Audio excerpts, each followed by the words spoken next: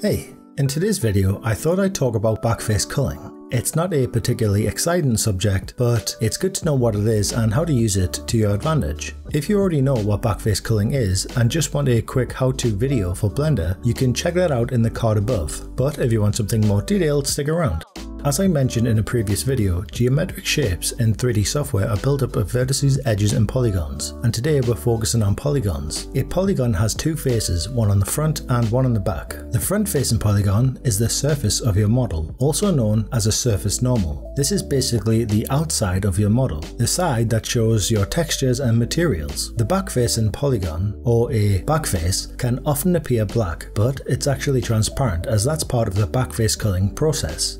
Backface culling is a method in computer graphics programming which determines whether a polygon of a graphical object is visible. If it's not visible, the polygon is culled from the rendering process. Culled meaning reduce the number of polygons that the hardware has to draw. So in very basic terms, that means if we can't see it, it won't render it, which is great for optimization and efficiency. One of the reasons I brought up backface culling is that it's a fundamental concept in 3D modeling. I also plan on using backface culling in a future tutorial, so I thought now was a good time to go over it. However, my main reason for wanting to talk about backface culling is mostly related to Blender. So as an example, I have this loot box here, and as you can see, it looks perfectly fine in Blender. But what you can't see is that the little stands here have inverted normals. All I mean when I say inverted normals is that the front facing and the back facing polygons have switched around. So instead of our texture being on the outside, it's now on the inside. That's also the case for the back face. It's now on the outside and it should appear either completely black black or transparent, but it's not, so what's going on? Well Blender, for whatever reason, has backface culling disabled by default. So instead of the backface appearing black or transparent, it actually shares the same UV space as the surface normals and acts as a two-sided material. Remember that surface normals are just the surface of your model. Now because they're sharing the same UV space, it makes it very difficult to tell them apart, and because of that, people can end up creating their models or parts of their models inside out. It's an easy mistake to make, especially as a beginner. So I'm I'm here in Blender to show you a few ways to prevent this from happening. And if it already has happened to you, I'll show you how to fix it. So now that we're in Blender, we'll start off in the default engine Eevee.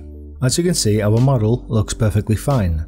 However, as I mentioned, this model has inverted faces, but we just can't see them yet. So I'll show you two ways in which we can view our back faces. So we'll go to this little button here, select the arrow to bring up this menu and select face orientation and as you can see the surface normals appear blue and the back face appear red. This is a quick way to check that your geometry is facing in the right direction. So let's turn this off for now and I'll show you how to view it as transparent. Go to the right and select this arrow and check backface culling and now our backface is transparent. This is basically how any other 3D modeling software or game engine renders our model. If we wanted to render our model out like this, it wouldn't work as this is only changing the settings in our viewport. So let's head over to the display render preview so that in the next step we can view our backface culling. So to be able to view our backfaces in the render view, we have to go to the material tab down here. Scroll down to settings and enable backface culling. And as you can see, it's showing us our inverted mesh in our render viewport. Now let's change our render engine to cycles. We can use the same two methods as before to view our normals, but in order to be able to see our inverted normals in our render view, we need to create a shader. So let's head over to the shading tab. Select our material window and hit Shift A to bring up the add menu and type in Mix Shader, Transparent BSDF,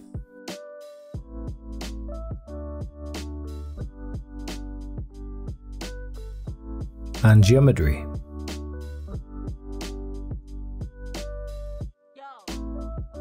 So I'll zoom in a little using the mouse scroll and begin to connect them together.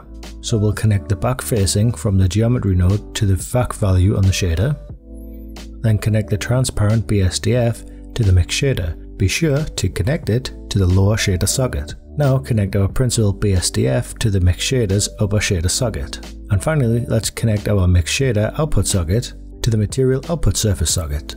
Now because we're in the display render preview, we can see that our normals are either black or transparent. The reason one is black and the other is transparent is that the black elements of our model are entirely flipped, meaning the entire part of that geometry is inverted. whereas the transparent polygon is actually part of a larger singular mesh, so it seems that individual faces become transparent. So, now that we know what pieces of our geometry are inverted, we can fix them, and thankfully it's rather easy to do. So let's jump back into the Layout tab. I'll go back into Display Solid mode, disable the Backface Culling mode, and enable Face Orientation.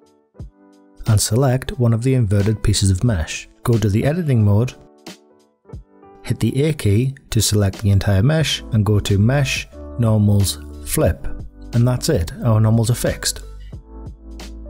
If elements of your model are inverted, you can select them by hovering over it and hitting the L key, and if you use the shortcut Alt N, you can bring up the same menu and select Flip. Also, if you have faces that are inverted, you can select them and flip them too.